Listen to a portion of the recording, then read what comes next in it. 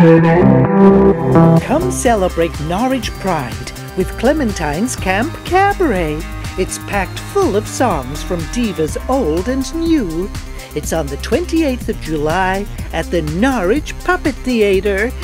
Could somebody turn the Padam fan off?